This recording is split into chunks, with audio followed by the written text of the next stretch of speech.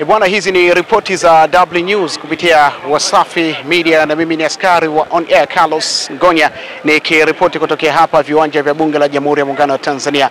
Leo tumezungumza na Mwita Waitara, mbunge wa Tarime Vijijini, bado ameendelea kushika vichwa vya habari, na leo naibu spika wa Bunge la Jamhuri ya Muungano wa Tanzania Mheshimiwa Musa Azan Zungu ameweza kumpa onyo kwa kitendo chake alichokifanya jana Mei 9 mwaka huu elfu mbili na ishirini na tatu kwa kutoka nje ya ukumbi wa bunge huku akiwa amevua koti lake, na inafaa tukumbuke siku ya jana pia spika wa bunge la Jamhuri ya Muungano wa Tanzania Mheshimiwa Dr. Tulia Ackson alisema kitendo hicho ni utovu wa nidhamu. Leo Zungu ameongeza kwa ukubwa kwa kusema kwamba kitendo hicho ni kutangatanga ndani ya bunge. Huyu hapa Mheshimiwa Mwita Waitara anaeleza hapa namna ambavyo aliweza kupokea onyo hilo kutoka kwa naibu spika Mheshimiwa Musa Azan Zungu.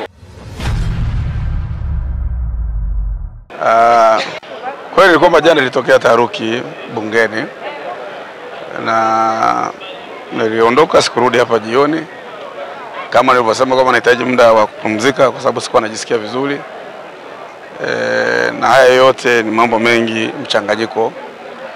E, kanuni mimi najua ya bunge na jana Mheshimiwa Spika mwenyewe Dr. Tulia alitoa mwongozo e, leo Mheshimiwa Naibu Spika amerudia mwongozo na mimi kanuni nayo nimesoma kanuni ya tatu ni kweli nakataza, niombe radhi kwamba nili, nili overdo nilipitiliza eh, kwa namna ambayo ilitokea, lakini e, ni sehemu ya changamoto.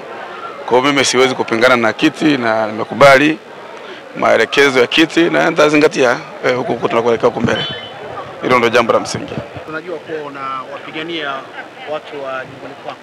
Yeah. Sasa uh, mkuu wa mkoa kule anasema kwamba mambo ambayo unayafanya ni uongo, pengine kututhibitishia hapa. Mimi nafikiri mimi nimeona klipu kwenye sasa hivi nilikuwa nasoma bungeni kwenye grupu la bunge, nimeona imeandikwa, anasema ni mambo ya uongo na anasema pia kwamba mimi nilitoa ahadi za uongo e, lakini nataka niseme kwamba bahati nzuri tu ni kwamba mambo yote ambayo nimezungumza wakati wote ni mambo ya wananchi na serikali inanielewa na chama kinajua.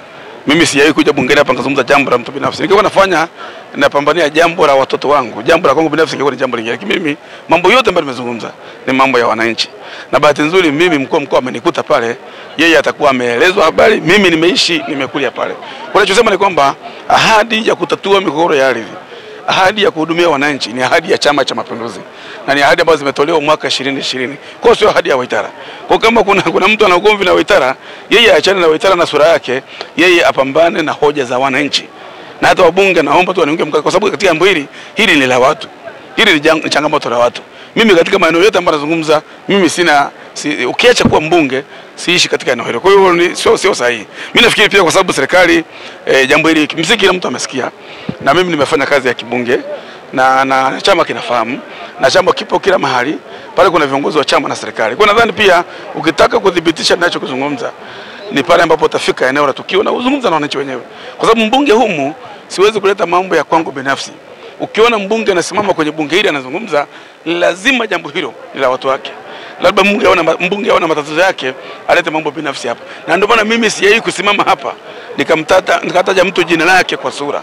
Mimi si deal na personalities, mimi ndio deal na issues, na ndio ndio hiyo ndio usalama wangu. Eh, kwamba mambo nazungumza yote ni mambo ya wananchi, na ukienda site utayakuta. Kwa. Lakini jambo zuri ni kwamba eh, pamoja mengi yameendelea.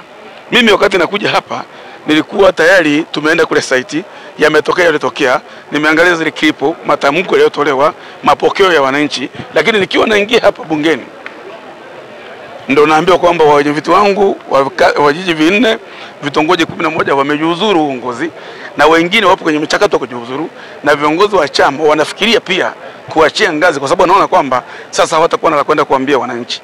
Umekuwa ukilia, jana tumeona umelia, lakini pia kuna siku tulifanya interview na wewe ukalia na ikatrendi sana. Watu mtaani wanazungumza kwamba ni kitendo ambacho ni kama vile wanataka uonekane kama unatia huruma kwa wananchi ili waweze kuhurumia. Pengine lina ukweli wote kwamba unatia Kwanza kwanza kwanza unaota down hoja. Hoja hapa sio hoja ya kulia. Sawa? E, ukienda kwenye msiba huambii kwamba utalia, si ndio? Hili ni, ni jambo linatokea coincidence. Kwa hiyo hii sio hoja. Hoja ni kwamba upo kwenye mazingira gani, mapokeo yakoje. Somele, watu waliosoma saikolojia wanafahamu hii maana yake ni nini, lakini kama hujaenda shule hiyo huwezi kujua. Mimi ni mwalimu professional, kwa najua kuna watu ambao as, akipata hasira wenzetu huku Iringa wanasema wanajinyonga, sio? Mimi sijajinyonga. Kuna watu wengine wanapigana, mimi sijapigana.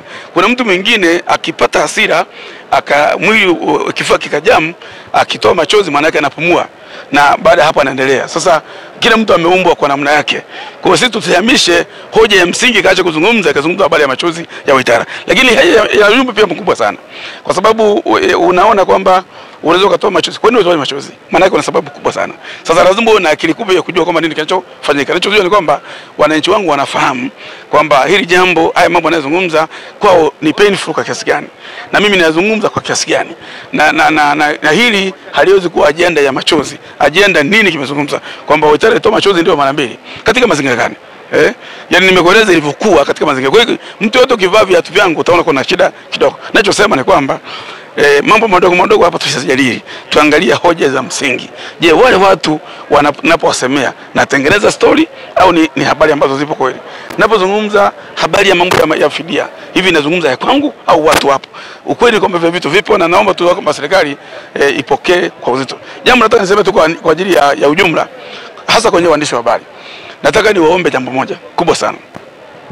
Hapa tunazungumza maisha ya watu nimeona hata kwenye mitandao mingi kuna mjadala mkubwa, lakini nataka niseme kwamba kwa mbunge wa yoyote, kwa mbunge yoyote ambaye anatoka Tarime vijijini, mbunge yoyote akiwa ni mbunge mwenye utashi kama mimi, ni lazima atazungumza kwa uchungu kama anavyozungumza leo, kwa sababu mambo hayo hayakuanza leo, ni mambo yapo, na malalamiko yetu siku zote ni kwamba tunaomba serikali ke na kuyafanyia kazi kwa ushirikishi kwa wale wananchi, na hata kama kuna maamuzi yafanyika kwa manufaa na kwa maslahi ya watu wetu, ni vizuri watu washirikishwe, na hapo maamuzi yatakuwa sawasawa na watu wataendelea kuwa na amani. Kwa hiyo hakuna shida.